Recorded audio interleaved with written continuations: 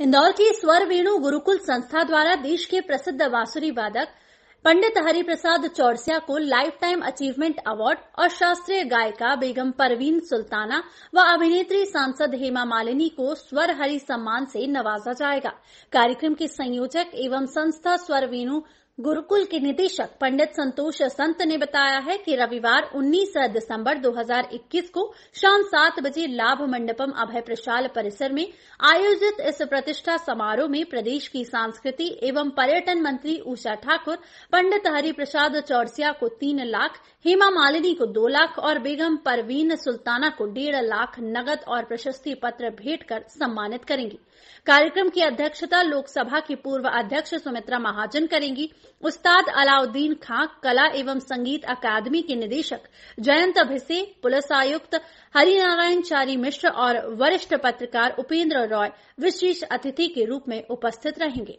देखिए, ये गुरुकुल एक्चुअली तो एक साल पहली सालगिरह है, परंतु कोरोना काल की वजह से हमने इस गुरुकुल को अभी तक फॉर्मली इनाग्रेट नहीं किया था।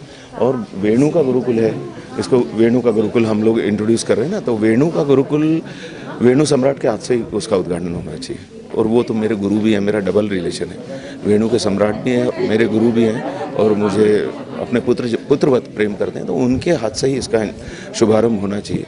इसलिए उद्घाटन, समझ लीजिए आप, या गुरु जी का पदार्पण से उस चीज़ का वेणुवादन की शुरुआत हम करना चाहते थे, इसलिए पंडित हरिप्रसाद चौरसिया जी को यहाँ उसके लिए हमने आमंत्रित किया चूँकि वो बहुत बड़ा नाम है पूरे विश्व के लिए।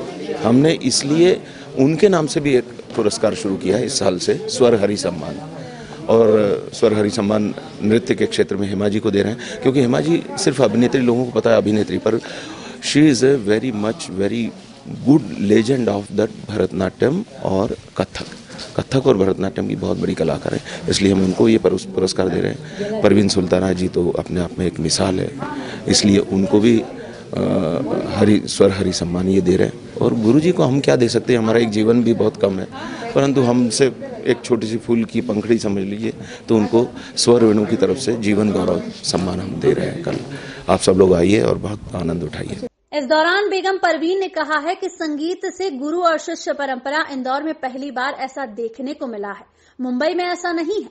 संगीत को लेकर कहा कि विदेश में कार्यक्रम जब करते हैं तो गर्वान्वित महसूस करते हैं। गर्व की अनुभूति होती है। हम भारतीय हैं। इसे और आगे लेके जाना है।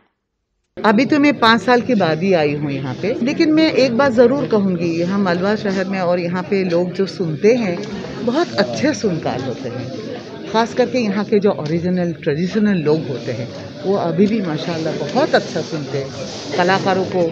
और मैं तो देखती रहती हूँ, बहुत हम लोग को इज़्ज़त अफजाई करती है, सुनते हैं, जानते हैं। मुझे तो कोई फ़र्क दिखाई नहीं देता है। मैंने जैसे कहा शास्त्रीय संग, संगीत का जो धरोहर है वो कभी कोई किसी ने आज तक नहीं हिलाया ना वो हिल सकता है। इंदौर के लोग बहुत अच्छे हैं मैंने ये देखा है। बहुत बड़े दिल वाले होते हैं और बहुत अच्छे लोगों को सम्मान करते हैं प्यार करते हैं।